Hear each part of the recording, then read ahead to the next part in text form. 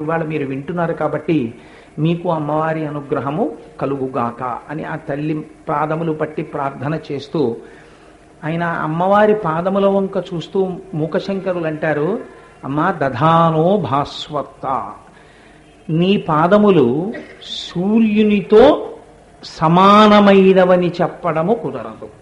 నీ పాదముల వంక చూసినప్పుడు నాకు సూర్యగ్రహము జ్ఞాపకమునకు వచ్చుచున్నది. భా అన్న మాటకి కాంతి అని పేరు. అందుకే ఆయనకి భానుడు అంటారు. అమ్మవారి మొట్టమొదట మనం గ్రహాలు చెప్పేటప్పుడు ఏ గ్రహం చెప్తాం? సూర్యగ్రహాన్ని చెప్తాం. సూర్యగ్రహానికి ఒక శక్తి ఉంది జ్యోతిష శాస్త్రంలో. అది ఆత్మోద్ధరణమును కలిగిస్తుంది ఆత్మ పీడని కలిగిస్తుంది. అందుకే సత్యనారాయణ స్వామి వారి వ్రతం చేస్తే సూర్యగ్రమ సూర్యగ్రహం ఆవాహయామి స్థాపయామి పూజయామి అన్న తర్వాత అక్షతలు తీసి యజమాని మీద వేసి సూర్యగ్రహ పీడ విముక్త్యర్థం అని అక్షతలు వేస్తారు. కాబట్టి ఇప్పుడు సూర్యుడు ఏం చేస్తాడు? అంటే సూర్యుడు ఏం చేస్తాడో మాకు తెలియకపోవడం ఏమిటండి? ఆయన వెలుతురు వెలుతురు పుట్ట. అసలు సూర్యోదయం అనేటటువంటిది కలగగానే మొట్టమొదట ప్రయోజనం పొందేటటువంటిది మనకి స్ఫురణలోకి వచ్చేది ఒకటి ఉంది లోకంలో. అదే పద్మం. పద్మం తపస్సు చేస్తుంది రాత్రంతా మొగ్గగా ఉండి. ఎప్పుడు సూర్యోదయం అవుతుందా ఎప్పుడు సూర్యకిరణాలు పడతాయా అని. కొన్ని కోట్ల రూపాయలు పట్టుకొచ్చి మీరు తామర మొగ్గ దగ్గర చూపించారనుకోండి ఆ తామర విచ్చుకోదు. అందుకే ఈ శ్లోకం చెప్పగానే రేపు తామర పూలతో పూజ చేస్తున్నాం. రేపు ఆ తామర పూలతో పూజ అమ్మవారికి జరుగుతుండగా మీరు చూసి తీరాలి. అందుకే ఆఫీస్ టైములు అయ్యే లోపల అందరూ చూసి వెళ్ళిపోయేటట్టుగా కార్యక్రమాన్ని రూపకల్పన చేస్తున్నాం. తామర మొగ్గ సూర్యకిరణానికి విచ్చుకుంటోంది. అమ్మవారి యొక్క పాదముల యొక్క శక్తి అలా తామర మొగ్గల్ని విచ్చుకునేటట్టు ఏమైనా చేస్తోందా? అంటే ఇప్పుడు మీరు శంకర భగవత్పాదుల్ని జ్ఞాపకం తెచ్చుకోవాలి. శంకరులు అన్నారు సౌందర్య లహరిలో హిమానీహంతవ్యం హిమగిరి నివాసైక చతురో నిశాయాం నిద్రాణాం నిశచరమ భాగీ చ విశదౌ పరం లక్ష్మీ పాత్రం శ్రియమతి సృజంతౌ సమయినాం. అంటూ సరోజం తప్పాదౌ జననిజయ కశ్చిత్రమిహకీం అన్నారు. మూక మహాకవి మూకశంకరులు ఈ మాట చెప్పే ముందు బహుశా శంకర భగవత్పాదులు వారి దృష్టిలో ఉన్నారు కొంతవరకు. జగద్గురువులు కదా వారెవరి దృష్టిలో ఉండరు? ఒక పద్మం విచ్చుకోవాలి అంటే సూర్యకిరణాలు పడాలి. సూర్యకిరణాలు పడితే విచ్చుకున్నటువంటి పద్మం రాత్రి అయిందనుకోండి ముడుచుకుపోతుంది. మంచులోకి తీసుకెళ్ళి మీరు తామర పువ్వుని పెట్టారనుకోండి వెంటనే అది ఆ రేకులన్నీ కూడా బరువుగా అయిపోయి ఆ మంచు చేత కొట్టబడి రెక్కలు ఎక్కడికక్కడ రేకులు ఊడిపోతాయి. శంకరాచార్యులు వారు అంటారు నీ పాదాలకి తామర పువ్వులకి పోలికి ఏమిటమ్మా? చాలామంది తెలియక నీ పాదపద్మములు పాదపద్మములు అంటుంటారు. అసలు అలా ఎలా చెప్పడం కుదురుతుంది? నీ పాదాలకి పద్మాలకి పోలిక లేదు. నువ్వు పుట్టింది హిమాలయ పర్వతాల మీద పుట్టావు. కాబట్టి హిమగిరి సుతే అని పేరు నీకు. నువ్వు మెట్టింది హిమాలయ పర్వతాల్లోనే మెట్టావు. కైలాసనాథుడు అక్కడే ఉంటాడు. కాబట్టి నీకు హిమాలయ పర్వతాల మీద నడవడం అనేటటువంటిది నీకు అలవాటైపోయింది. నువ్వు మంచుకొండల మీద తిరుగుతుంటావు. ఏది తామర పువ్వులను అలా మంచుకొండ మీద తిరగమనండి? తెల్లవారితే విచ్చుకుంటాయి. చీకటి పడితే ముడుచుకుంటాయి. నీ పాదాలు అలా ఒకనాడు విచ్చుకోవడం ఒకనాడు ముడుచుకోవడం నీ పాదాలకి తెలియదు. నీ పాదాలు నిశచరమభాగే చ విశదౌ. అవి ఎప్పుడు ఈ పద్మాలైతే చీకటి పడితే ముడుచుకుపోతాయి. నీ పాదాలో రాత్రి లేదు పగలు లేదు ఎప్పుడైనా సరే ఆర్తితో ఉన్నవాడు ఒక్కసారి అమ్మవారి పాదద్వంద్వాన్ని ఇక్కడ తలుచుకుని నఖైర్నాక స్త్రీణాం కరకమల సంకోచశిశిభి స్తరూణాం దివ్యానాం హసతీవతే చండిచరణౌ. ఫలాని స్వస్యేభ్య కిసలయకరాగ్రేణ దదతౌ దరిద్రేభ్యో భద్రాం శ్రియమనిశమాహ్నాయ దదతౌ. ఎక్కడున్నా సరే ఎంత దరిద్రుడైనా సరే ఇక్కడ కానీ అమ్మవారి పాదాలొక్కసారి తలుచుకుని నమస్కారం చేశాడా అంతే వాడు కష్టం నుంచి గట్టెక్కిపోతున్నాడమ్మా. నువ్వు ఉత్తర క్షణం రక్షించేస్తావు. నీ కంటి చూపు చేత రక్షించగలిగినటువంటి దానివి. నువ్వు రావక్కర్లేదు. నేను రక్షిస్తాను స్మా అని నువ్వు ఏమీ ముద్రపట్టక్కర్లేదు నీ కంటి చూపు ఎప్పుడు పిల్లల్ని తల్లి చూసినట్టు నువ్వు అలా కనుగుడ్లు తిప్పుతూ చూస్తూనే ఉంటావు. దృశాద్రాఘీయస్యాదరదలిత నీలోత్పల రుచ. బ్రహ్మాండాల వర్ణంత వరకు నీ దృష్టి అలా తిరుగుతూనే ఉంటుంది. నీ పాదములు తలుచుకోగానే ఎంత దరిద్రుణ్ణైనా నువ్వు రక్షిస్తావు. నిస్సంకోచం అందులో సందేహం లేదు. అటువంటి తల్లివి నువ్వు. అటువంటి నీ పాదాలకి ఏదో పొద్దున్నే విచ్చుకుని రాత్రికి ముడుచుకుపోయేటటువంటి తామర పువ్వులకి ఎలా పోలికి చెప్తామమ్మా ఓడిపోయే తామర పువ్వులు నీ పాదముల యందు ఆ తామర పువ్వుల్ని పగటిపూట వికసింపచేసిన సూర్యకిరణములు నీ పాదములతో పోల్చడానికి సరిపోతుందా? పైగా తామర పూలు ఒక కోరిక కోరుకుంటాయి. లక్ష్మీదేవి తమలో నివాసం ఉండాలి అని కోరుకుంటాయి. తమలో ఉండాలని తామర పూలు కోరుకుంటున్నాయి. కోరుకున్న వాళ్ళకి లక్ష్మిని సృజించేస్తాయి వర్షించేస్తాయి నీ పాదాలు. దాచుకోవడం తామరలకి తెలుసు వర్షించేయడం నీ పాదాలకి తెలుసు. నీకు తామరలకి పోలిక అమ్మా. ఎవరు చెప్పారు ఈ మాట? నీ పాదపద్మములన్న మాట ఏమిటి? నేను ఒప్పుకోనమ్మా అన్నారు శంకరాచార్యులు ఎంత గొప్ప మాట చూడండి. అందుకని సూర్య భగవానుడు తన కిరణముల చేత పద్మములను వికసింపచేస్తున్నాడంతే అంత మాత్రం చేత ఆ పద్మములు అమ్మవారి పాదములకు సాటి అవుతున్నాయా? సాటి కావట్లేదు. కాబట్టి అమ్మ నీ పాదములను చూసినప్పుడు నాకు సూర్యుడు గుర్తొస్తున్నాడు ఆ కాంతి చేత. కానీ సూర్యుడు యొక్క కిరణములు కానీ సూర్యకాంతి కానీ సూర్యకాంతి వలన కలిగేటటువంటి ప్రయోజనములు కానీ నీ పాదకాంతికి సరిపోవు. నీ పాదకాంతి గొప్పది సూర్యుడి కన్నా సరిగదా? నీ పాద సూర్యుడు ఏం చేస్తాడు? సూర్యోదయం అవగానే మన అందరిలోనూ కూడా ఒక్కసారి అమ్మయ్యా తెల్లవారిందంటాం. ఒక ధైర్యం వస్తుంది అమ్మయ్యా తెల్లవారిందంటాం. చీకటి పడితే భయంగా ఉంటుంది. చీకటి పడితే భయంగా ఉండడం తప్పు కాదండి అది మంచి లక్షణం. కాబట్టి బుద్ధి వికసనమును పొందదు. సూర్యోదయం అవగానే మనం బ్రాహ్మీ ముహూర్తంలో కూర్చుని గాయత్రి చేసుకుని లేచి సూర్యోదయం అవుతుంటే చూడగానే గొప్ప ఉపశాంతి కలుగుతుంది మనసులో. అమ్మయ్య సూర్యోదయం అయింది పగటి పూట అయిపోయింది. నాకు సంతోషం అనుకుంటాం.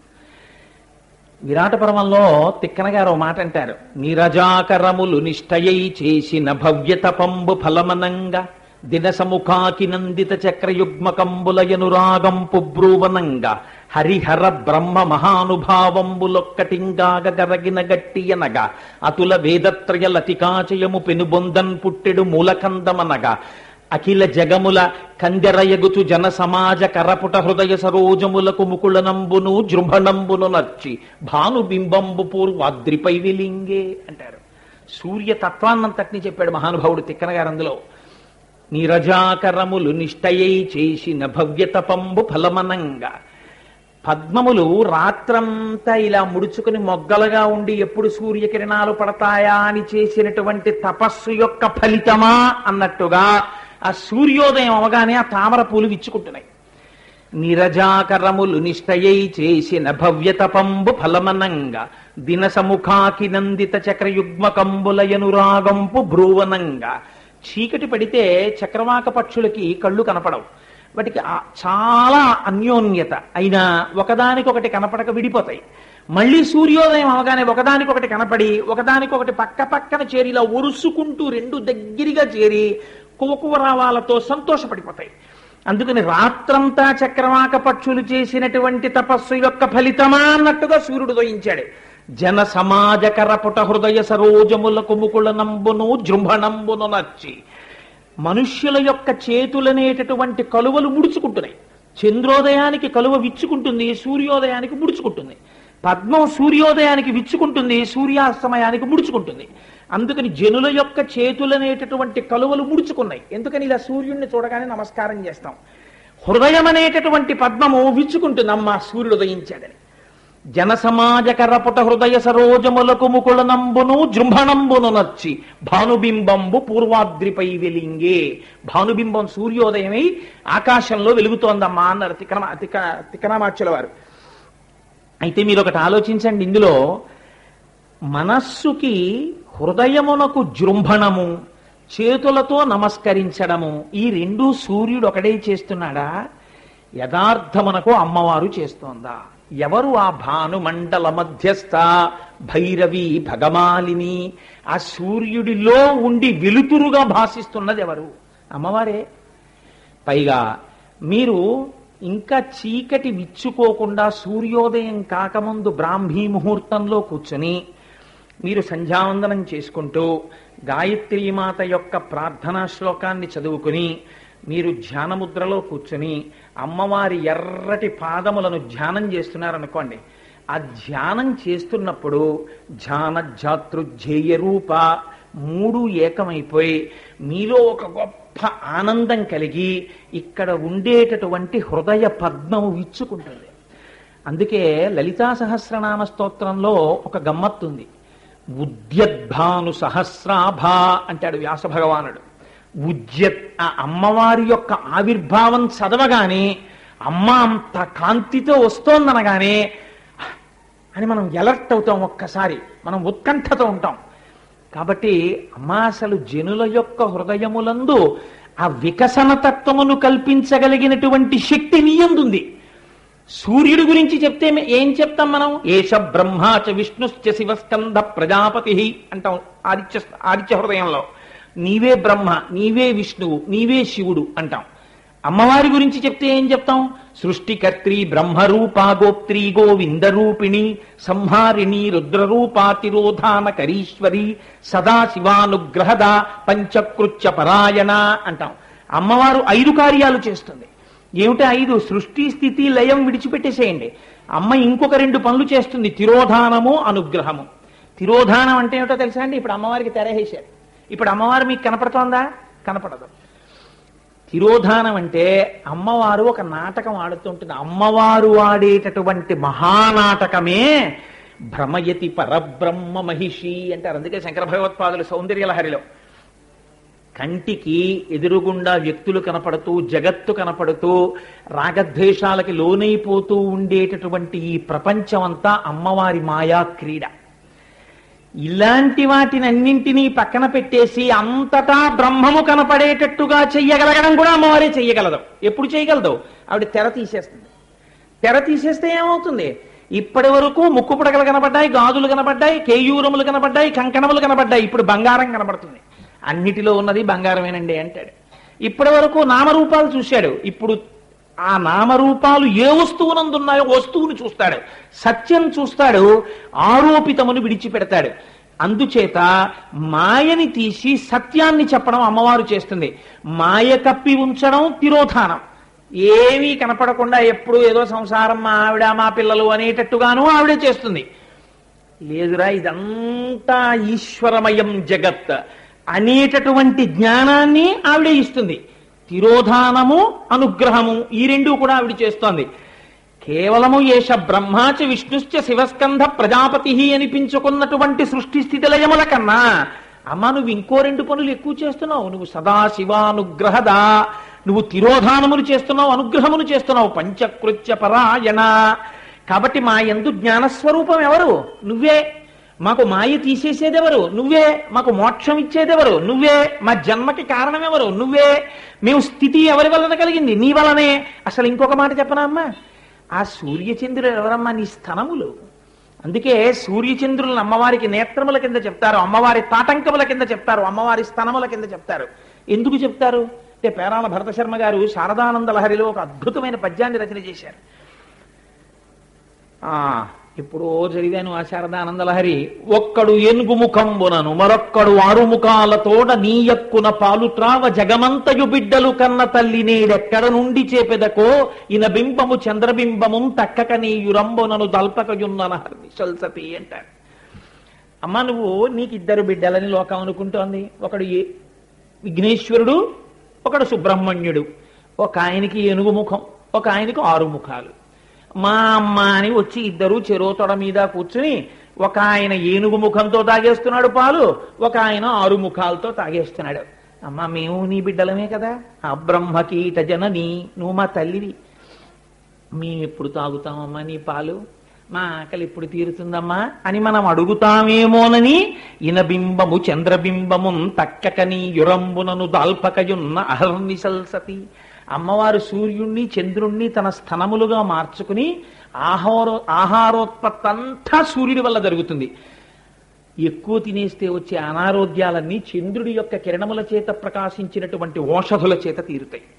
కాబట్టి అమ్మా లోకాన్ని నువ్వు మళ్ళీ తల్లిగా కాపాడుతున్నావు కదమ్మా. కాబట్టి సూర్యుడిగా సూర్యుడు చేస్తున్న దానికన్నా నీ పాదములలోంచి వచ్చేటటువంటి సూర్యకాంతిని మించిన కాంతి సూర్యుణ్ణి దాటిపోయింది కదమ్మా. ఇన్ని ప్రయోజనాలు అటువైపు నుంచి ఎక్కడ వచ్చాయి నీలోంచి వచ్చాయి దదానో భాస్వత్త. ఇది మూక హృదయం ఇది మహానుభావుడు మూకశంకరుడు. అందుకనమ్మా నీ పాదాలతో సూర్యుణ్ణి పోల్చి నేను ఎలా చెప్పను? సూర్యుడిని నీ పాదాలతో పోల్చడం కుదరదమ్మా. అమ్మవారు మందస్మితం చేసింది. ఎంత గొప్ప ఆలోచన వచ్చిందో. ఎక్కడిది ఆలోచన? తానిచ్చిందే. తానిచ్చిన ఆలోచనే తానిచ్చినటువంటి స్ఫురణే తానిచ్చిన ఊపిరే తానిచ్చిన వాక్కుగా మారి పైకొస్తోంది. ఇప్పుడు మీరు దధానోభాస్వత్త అన్నప్పుడు నేను చెప్పగలుగుతున్నానంటే ఎవరి అనుగ్రహం లోపల నుంచి బయటకు వస్తోంది అమ్మవారే బయటకు వస్తోంది అనమాట అమృత నిలయో. పోన్లే అమ్మా నీ పాదాల ముందు సూర్యుడు తక్కువే కానీ పోని చంద్రుడు అంటానంటుకుంటున్నావేమో నవగ్రహాల్లో మరి సూర్యుడు తర్వాత చంద్రుడిని చెప్తాం. చంద్రుడు అంటాననుకుంటున్నావేమో చంద్రుడు కూడా నీ పాదాలతో సాటి అని చెప్పడం కుదరదు. ఎందుకో తెలుసా అమ్మా? చంద్రుడు దేనికి గొప్ప? చంద్రుడిలోంచి అమృతం స్రవిస్తూ ఉంటుంది. అందుకే పరమశివుడు ఎప్పుడూ ఆ అమ్మవారు కూడా తదియనాటి చంద్రరేఖని పెట్టుకుని ఉంటారు. అమృత బిందువులు పడుతూ ఉంటాయి. ఆ అమృత బిందువులను మన రాజమండ్రి కోటగుమ్మం సెంటర్లో ఉంటుంది మూర్తి. ఒక చెంబుతో పట్టుకుని తల మీద పోసుకుంటూ ఉంటాడు మళ్ళీ ఇది పోసుకున్నప్పుడు ఈ చెంబుకి నింపుకుని మళ్ళీ ఇలా పోసుకుంటూ ఉంటాడు. అంటే తనలో తాను రమిస్తూ ఉంటాడు శంకరుడు ఆత్మానందమనందు. అటువంటి శివుడమ్మా అటువంటి ఆత్మానందాన్ని అటువంటి అమృతాన్ని స్రవించేటటువంటి చంద్రుడు. ఈ అమృతాన్ని తాగితే ఏమవుతుంది? మళ్ళీ పుట్టడు అంతే కదా? అమృతం తాగాలి అమృతం తాగాలని ఎందుకు అనుకున్నారు? మళ్ళీ పుట్టవలసిన అవసరం ఉండదు కాబట్టి. ఇంకా ఇదే ఆఖరి చావు కాబట్టి ఇదే ఆఖరిసారి శరీరాన్ని విడిచిపెట్టడం. ఇక మళ్ళీ శరీరం విడిచిపెట్టడం అన్నది ఉండదు. ఎందుకు ఉండదు? ఇంకోసారి శరీరం పుచ్చుకోడు కాబట్టి. అది అమృతం తాగడం అంటే. కాబట్టి దేవతలందరూ ఏమన్నారు? మేము అమృతం తాగుతాం అమృతం తాగుతాం అన్నారు. అమ్మా నేను మాట అడుగుతాను. నువ్వు నిజంగా చెప్పు. శంకరులు అంటారు సౌందర్యలహరిలో సుధామప్యాస్వాద్య ప్రతిభయ జరా మృత్యుహరిణి విపద్యంతే విశ్వే విధిశతమఖముఖాద్యాది విషద కరాళం జక్ష్వేళం కబలతవత కాలకలన నశంభోస్తన్మూలం తవ జనని తాటంక మహిమ. ఏది ఆ పాల సముద్రాన్ని చిలికి అమృతం వచ్చినప్పుడు అమృతం తాగి మేమందరం ఇంకా చావు లేకుండా ఉండిపోతామనుకున్న వాళ్ళల్లో ఎంతమంది చావు లేకుండా మిగిలిపోయిన వాళ్ళు ఉన్నారమ్మా అందరూ వెళ్ళిపోయారు. ఏరి బ్రహ్మగారేరి? ఆ బ్రహ్మగారు వెళ్ళిపోయారు. ఆ దేవతలేరి వెళ్ళిపోయారు. యుగం మారిపోయింది. కొత్త దేవతలు వచ్చేసారు చచ్చిపోతామేమోనని ఎవరూ తాగందేమిటి? హలాహలం ఒకటే. మాకు అక్కర్లేదన్నారు. అది పుచ్చుకున్నవాడు ఒక్కడే ఉన్నాడు. ఎవరున్నారు? మీ ఆయన ఉన్నాడు. అమ్మా మరి ఆయన హాలాహలం పుచ్చుకుంటే ఆయనకి ప్రమాదం ఎందుకు రాలేదమ్మా? తవ జనని తాటంక మహిమ. నీ తాటంకముల గొప్పతనం అమ్మా తాటంకములు ఐదోతనాన్ని సూచిస్తాయి. సూర్యచంద్రులు ఇద్దరూ నీకు తాటంకములుగా ఉంటే హాలాహలం దాగేసిన మీ ఆయనకి ప్రమాదం ఎందుకు వస్తుందమ్మా? అందుకని రాలేదు నీ ఐదోతనం అంత గొప్పది. అందుకని శంకరుడు హలాహలం తాగాడంటే ఆయన గొప్ప. నీ తాటంకాల గొప్పమ్మా అన్నారు. శంకర భగవత్పాదులు. అలా చంద్రుడిలోంచి అమృతం వస్తుందని తాగిన వాళ్ళందరూ బ్రతికిపోయారా అంటే మనం చెప్పలేం. కానీ అమ్మవారి పాదముల వంక చూసి నకధీదితి సంచందన మజ్జన తమోగుణ అమ్మవారి అవయవాలన్నిటినీ నువ్వెక్కడ చూసి ఉపాసన చేస్తావురా? అలా చెయ్యలేవు. కనీసం అమ్మవారి కాలి బొటనవేలి గోటి యొక్క చివరి నుంచి వచ్చేటటువంటి తెల్లని కాంతి నీకు ఎప్పుడైనా దర్శనమైతే జన్మ జన్మాంతరముల నుండి నిన్ను వెంటాడుతున్నటువంటి చీకటనబడే తమోగుణం విరిగిపోతుంది. అంత గొప్పది అమ్మవారి యొక్క గోటి కాంతి. అటువంటి తల్లివి కదా నీ పాదములను నమ్మినటువంటి వాళ్ళు నీ పాదాలని స్తోత్రం చేసిన వాళ్ళు మళ్ళీ పుట్టడం అన్నది ఎక్కడుందమ్మా? ఇంకా లేదు. వాళ్ళు అజరామరం అయిపోయారు వాళ్ళు అజరామరం అయిపోవడం కాదు. వాళ్ళ నోటి నుంచి వచ్చిన మాటలు అమృతధారలైపోయాయి. అమృతధారలై తర్వాత తర్వాత తర్వాత తర్వాత వచ్చినటువంటి కొన్ని వేల తరాల్ని గట్టెక్కించేశాయి. ఎందుకు గట్టెక్కించాయి? నీ పాదములను చూసి వాళ్ళు చేసినటువంటి స్తోత్రములు వాళ్ళ తర్వాత కూడా అమృతత్వాన్ని ఇప్పించే శిష్యులకి. అమృతం తాగిన వాళ్ళు వాళ్ళు పొందారేమో. కొన్నాళ్ళు పోయిన తర్వాత శరీరాలు వదిలిపెట్టారు. తప్ప వాళ్ళు ఆ తర్వాత వాళ్ళను ధరించిందేది అమ్మ నీ పాదములు గొప్పవా? అందులో ఉన్న అమృతత్వము గొప్పదా? లేకపోతే చంద్రుడు గొప్పవాడా? చంద్రుడు గొప్పవాడేమిటమ్మా చంద్రుడు గొప్పవాడని నేను అన్నాను నీ పాదముల యొక్క చల్లతనం నీ పాదములలోంచి వచ్చేటటువంటి అమృతం అది గొప్పదమ్మా. అందుకని చంద్రుడు నీ పాదముల ముందు సాటిరాడు. చంద్రుడు అమ్మవారి దగ్గర ఎంత గొప్ప భక్తుడు మనుశ్చంద్ర కుబేర చలోపాముద్రాచమన్మద అగస్తీరగ్ని సూర్యశ్చ ఇంద్రస్కంధ శివస్తథ క్రోధ భక్తారకో దేవ్యాద్వాదశామి ఉపాసకాహ అని పన్నెండు మంది అమ్మవారి ఉపాసకులు. ఎంత చంద్రుడు గొప్పవాడైనా అమ్మవారి విషయంలో ఎన్ని మాటలు ఎన్ని రకాలుగా వ్యాసుల వారి చేతిలో శంకరుల చేతిలో పక్కబెట్టి పక్కబెట్టేశారు శంకరాచార్యులు వారైతే అసలు నిజంగా ఎన్ని ఊహలు చేసేశారో ఆ చంద్రుడిని అడ్డుపెట్టి నాకు ఆనందం ఆగట్లేదు. ఒక రెండు శ్లోకాలు చెప్పేస్తాను. జ్ఞాపకం ఉంటే బయటకు వస్తాయి స్మిత జ్యోత్స్నాజాలం తవ వదన చంద్రస్య పిబతాం చకోరాణామా సీమతి రసతయా చెంచు జడిమా. అతస్తే సీతాంశో అమృతలహరి ఆమ్ల రుచయా. పిబంతి స్వచ్ఛందం నిశ నిశ భృశం కాంచిక ధియా అన్నారు ఈ చకోర పక్షులకి ఒక అలవాటు ఉంటుంది. అవి రాత్రి వేళల్లో చంద్రుడి నుంచి వచ్చేటటువంటి వెన్నెల తిని బతుకుతాయి. అదో విచిత్రమైన అలవాటు వాటికి. శంకరాచార్యులు వారు అన్నారు అమ్మా అసలు ఈ చకోర పక్షులు చంద్రుడి నుంచి వచ్చేటటువంటి కాంతిని ఎందుకు తిని బతుకుతాయో తెలుసా? అందరూ అంటారు అబ్బో ఎంత గొప్పవో చక్క వాటికి ఏ అన్నం అక్కర్లేదు కూర అక్కర్లేదు పచ్చలక్కర్లేదు చంద్రకిరణాలు తింటాయంటారు. అసలు రహస్యం నాకు తెలుసమ్మా అన్నారు శంకర్లు. ఏమిటో శంకర శంకరా అంది అమ్మవారు. అంటే శంకర్లు అన్నారు అమ్మ చంద్రుడికి నీ ముఖానికి పోలిక చెప్తూ ఉంటారు కదా అందుకని చకోర పక్షులన్నీ ఒకసారి నీ ముఖం చూద్దామని వచ్చాయి. వస్తే నీ ముఖం చూసేటప్పటికి వాళ్ళ వ్యాస భగవానుడు చేసినటువంటి స్తోత్రం వాటికి జ్ఞాపకానికి వచ్చింది. అమ్మవారి ముఖ చంద్ర కళంకాభం మృగనాభి విశేషక అని అమ్మవారి ముఖం చంద్రబింబంలా ఉంటుంది అందులో మత్స బొట్టులా ఉంటుంది. ఇది జ్ఞాపకానికి వచ్చి అవి నీ ముఖం వంక చూసాయి. నీ ముఖంలోంచి వస్తున్నటువంటి కాంతి వంక చూసి మనకు అలవాటే కదా చంద్రుల్లోంచి వచ్చే కాంతి మనం తాగుతూ ఉంటాం కదా. అలాగే ఇక్కడ కాంతి వస్తోంది ఇది చంద్రుడితో పోల్చారు కదా ఇది మనం తాగుదామని గుటుక్కుని తాగేసాయి కాస్త కాంతిని తాగేసేటప్పటికి ఏమైందో తెలుసా అమ్మా?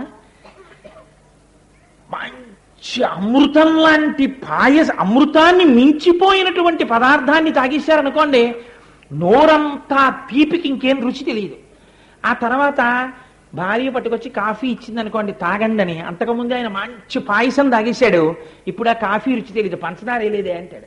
అంటే ఆవిడంటుంది నేను పంచదార ఇకపోవడం కాదు మీరు పాయసం తాగారు మీకు రుచి తెలియట్లేదు అంటుంది ఇప్పుడు కాఫీ రుచి తెలియడానికి ఆయన ఏం చేస్తాడు? ఓ ఉప్పు కణికోటి తీసుకొచ్చి నోట్లో వేసుకొని మింగుతాడు. అలా అమ్మా నీ ముఖంలోంచి వచ్చేటటువంటి కాంతిని తాగినటువంటి చకోర పక్షులు ఆ నోటికి పట్టేసినటువంటి తీపి విరగడానికి చంద్రుడి నుంచి వచ్చేటటువంటి కిరణములనే పుల్లగంజి తాగాయమ్మా అన్నారు. తప్ప చంద్రకిరణాలకి నీకు పోలికేమిటమ్మా అన్నారు. అక్కడతో వదిలిపెట్టే లేదు కళంక కస్తూరీరజనికర బింబం జలమయం కళాభికర్పూరైర్మరకత నిబిడితం అతస్త్వద్భోగేన ప్రతిదినమిదం రిక్తకుహరం. విధిర్భూయో భూయో నిబిడయతి నూనం సునంతవ కృతే ఏంటో అమ్మా జనులు తెలియక ఆకాశంలో చంద్రుడున్నాడు శుక్లపక్షంలో పెరుగుతాడు కృష్ణపక్షంలో తగ్గుతాడు అని ఇన్ని మాటలు చెప్తారు. పాపం వాళ్ళకి తెలియదమ్మా అసలు సంగతి నాకు తెలుసు. చంద్రుడేమిటమ్మా? అసలు చంద్రుడు అన్నవాడు ఎవడు లేడు ఆకాశంలో. అది తెలియక అలా చెప్తున్నారు. అది ఏమిటో తెలుసా? నీ టాయిలెట్ బాక్స్. అది గరుడమణి పూసల పెట్టెతో చేశారు. అది గరుడమణి పూసలతో చేశారు. గరుడమణులతో చేస్తే ఏమవుతుందంటే లోపల ఉన్న పదార్థం కనపడుతూ ఉంటుంది. చంద్రుల్లో ఓ మత్స మత్స అంటుంటారు. అదేమిటో తెలుసా అమ్మా? మత్స కాదు. నువ్వు బొట్టు పెట్టుకుంటుంటావు కస్తూరి తీసి. నీ పెద్ద కొడుకు కదా మరి చతుర్ముఖ బ్రహ్మగారు. అమ్మకి కావలసిన సామానంతా పెట్టాలని నువ్వు స్నానం చేయడానికి పన్నీరు నువ్వు రాసుకోవడానికి అంగరాగాలు. అమ్మవారు ఎలా ఏవి ఎలా పుచ్చుకుంటుందో అలా. మనం రేపు రెండు మూడు రోజుల్లో ఇక్కడ సువాసిని పూజ చేస్తాం. అమ్మవారికి ఎలా జరుగుతుందో అలా ఇక్కడ చేస్తాం. చుద్దురుగా ఇది చూస్తే చాలు తరించిపోతారు. అందులో అన్నిటికన్నా గొప్పది ఏమిటో తెలుసా అండి? జడకి తాడు కట్టాలి. అది ఆ జడకి తాడు కట్టిన వాళ్ళు ఎవరుంటారో వాళ్ళు ఎన్ని కోట్ల జన్మలెత్తినా అమ్మవారికి మహాభక్తులై పసుపు కుంకాలతో పిల్లా పాపలతో మూడు తరాలు చూసి భర్త యొక్క వైభవానికి కారణమైనటువంటి గొప్ప సతీమణులు అవుతారు. అది మర్చిపోయినట్టున్నాం గోపాలకృష్ణ స్వామి మీరు జ్ఞాపకం పెట్టుకోండి జడతాడులోటి తెప్పించాలి మనం సువాసిని పూజలకి. కాబట్టి ఆ ఆ శంకర భగవత్పాదులు అంటారు అమ్మా ఆ చంద్రుడు నీ టాయిలెట్ బాక్స్ అమ్మా పాపం బ్రహ్మగారు ఏం చేస్తారంటే మా అమ్మ బొట్టెట్టుకోవాలి కదా అని ఇంత కస్తూరి తీసుకొచ్చి అందులో పెట్టాడు. అదే నల్ల మచ్చలా కనపడుతోంది. ట్రాన్స్పరెంట్ బాక్స్ కదా అది. గరుడమణి పూసల పెట్టే లోపలున్నవి కనపడుతుంటాయి. లోపలున్న కస్తూరి కనపడుతోంది. అది నల్ల బొట్టు అనుకుంటున్నారు అందరూ. అది కస్తూరి అమ్మవారు పెట్టుకునే బొట్టు. అందులో ఏదో జలం ఉన్నట్టుగా ఉంటుంది. అది అమ్మవారు స్నానం చేసే పన్నీరు. అమ్మవారు రూసుకునే అంగరాగాలు. ఇవన్నీ అందులో పెట్టి చతుర్ముఖ బ్రహ్మగారు అక్కడ పెడతారు. అమ్మవారు ఏం చేస్తుందంటే మళ్ళీ తెల్లవారేటప్పటికి కొంత పన్నీరు స్నానం చేసేస్తుంది కొంత కస్తూరి తీసుకుంటుంది బొట్టు పెట్టేసుకుంటుంది. కస్తూరి తిలకంచితెందు విలసత్ ప్రోద్భాసి పాలస్థలీం కర్పూర ద్రవమిశ్ర చూర్ణ కపురా మోదోల్ల సద్దీటికాం లోలాపంగ తరంగ తైరిచి కృపా సారైర్నతానందినీం శ్రీ శ్రీశైలస్థలమాసినీం భగవతీం శ్రీమాతరం భావయే. సుప్రభాతంలో చదువుతున్నాం కదా అందుకే సుప్రభాతం అంత గొప్పది. అమ్మవారు కస్తూరి బొట్టు పెట్టుకుని ఉంటుంది. శంకరుడు ఎన్ని మాటలు కనపడితే ఆవిడ ఎంత మహాపతివ్రత అంటే అన్ని మాటలు మోకాళ్ళ మీద వంగి తన లలాటమనందున్న కస్తూరి బొట్టు శంకరుడి పాదాల మీద ముద్రపడేటట్టుగా నమస్కారం పెడుతుంది. శంకరాచార్యుల వారు అన్నారు అమ్మా నీ అవయవాలన్నీ నునిపే కానీ మోకాళ్ళు గరుకమ్మా అన్నారు. ఎందుకో తెలుసా? అస్తమానం శంకరుడికి మోకాళ్ళ మీద నమస్కారాలు ఎట్టి నీ మోకాళ్ళు గొరికిపోయాయమ్మా అన్నారు. అలాగే తగిలేయమో ఇవాళ అభిషేకం చేస్తున్నప్పుడు పసుపు రాస్తుంటే నాకు. అందుకని అమ్మా ఆ చంద్రుడున్నాడే అందులో నువ్వు వాడుకునేటటువంటి పరిమళ ద్రవ్యాలన్నీ అందులో పోసి అక్కడ పెట్టారు బ్రహ్మగారు. నువ్వేం చేస్తుంటావు? రోజు కాస్త పన్నీరు తీసి స్నానం చేసేస్తావు. రోజు ఇంత కస్తూరి తీసి బొట్టెట్టేసుకుంటావు. అందులోంచి అంగరాగాలు తీసి ఒంటి నిండా రాసేసుకుంటావు. చక్కగా కూర్చుంటావు. ఏమైపోతుంది? తగ్గిపోతుంటాయి. అదే కృష్ణపక్షం. ఆ పెట్లో సామానంతా సగి తగ్గిపోతోంది. అమావాస్య వచ్చేస్తూ ఉండగా శారదాదేవి చెప్తుంది ఏమండోయ్ ఎవరి అనుగ్రహం వల్ల మనం బ్రతుకుతున్నామో ఆ తల్లికి కావలసిన సామాను తగ్గిపోతోంది. మళ్ళీ పెట్టండి గబగబా అంటుందిట. అనేటప్పటికి బ్రహ్మగారు పరిగెత్తుకుంటూ కొట్టుకెళ్ళి కాస్త కస్తూరి తెచ్చి అందులో పెడతాట. ఒక్కొక్క ఒక్కొక్క కల పెరుగుతుంటుంది శుక్లపక్షంలో. అలా పరిగెత్తుకెళ్ళి కాస్త కస్తూరి పెడతాడు. అలా పరిగెత్తుకెళ్ళి కాస్త అంగరాగం పెడతాడు. అలా పరిగెత్తుకెళ్ళి కాస్త పన్నీరు పోస్తాడు. అన్ని తీసుకొచ్చి మళ్ళీ పెట్టి అమ్మయ్య అన్ని మళ్ళీ నిండా పెట్టిలో పోసేసాను అనుకుంటాట. పౌర్ణం వచ్చింది అంటారు. టాయిలెట్ బాక్స్ నిండా కనపడుతుంది. మళ్ళీ మొదలు అమ్మవారు మళ్ళీ ఒక్కొక్కటి తీసి వాడేసుకుంటుంది మళ్ళీ తగ్గిపోతుంటుంది.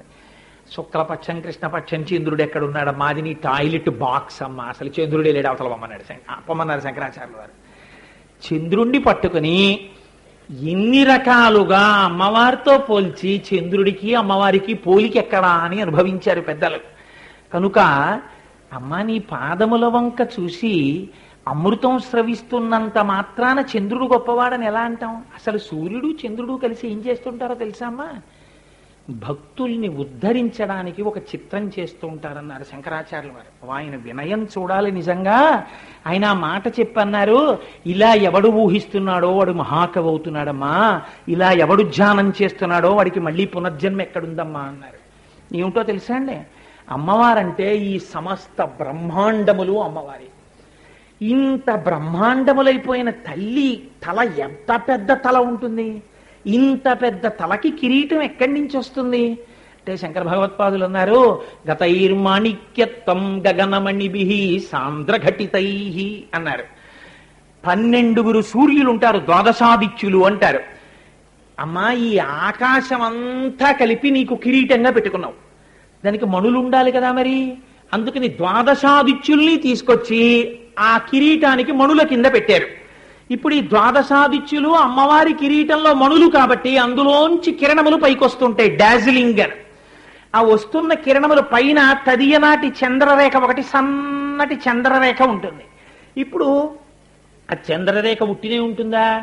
సన్నగా ఉన్న చంద్రరేఖ మించి దీన్ని ఎవరు ధ్యానంలో వింటున్నప్పుడు ఒక్కసారి దర్శనం అవుతోందో అటువంటి వారికి ఉత్తరోత్తర జన్మముల జన్మల ఎందు మహాకవులవుతారని ప్రతీతి.